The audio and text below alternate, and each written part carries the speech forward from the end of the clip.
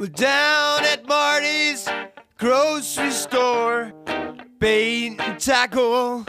I'm met Jane. Marty's wife.